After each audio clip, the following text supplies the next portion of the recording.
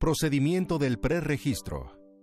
Es importante que, al momento de realizar tu preregistro, consideres que este trámite consta de seis secciones, las cuales deberás atender de manera obligatoria para que posteriormente puedas realizar tu registro al concurso de asignación.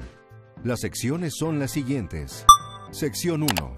Actualiza la información del domicilio donde vives y tus datos de contacto.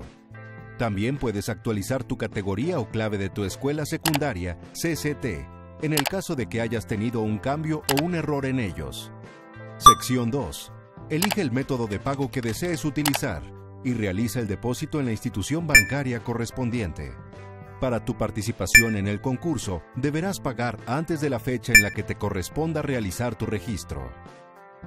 Sección 3.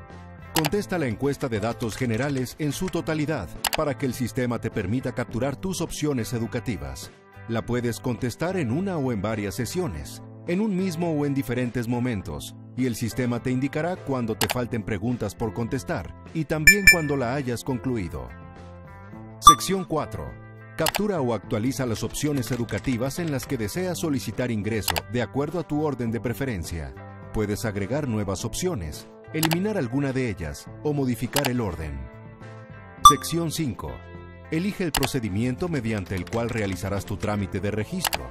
Lo podrás realizar en línea o de manera presencial. Sección 6. Integra tu expediente electrónico, el cual constará de todos los documentos que contendrán la información con la que decidas participar en el concurso, de acuerdo a tu categoría. Al concluir la integración de tu expediente, deberás descargar tu comprobante de preregistro, en el cual se te darán las indicaciones para que realices tu trámite de registro según el procedimiento que hayas elegido. Recuerda el periodo en el que debes realizar tu preregistro.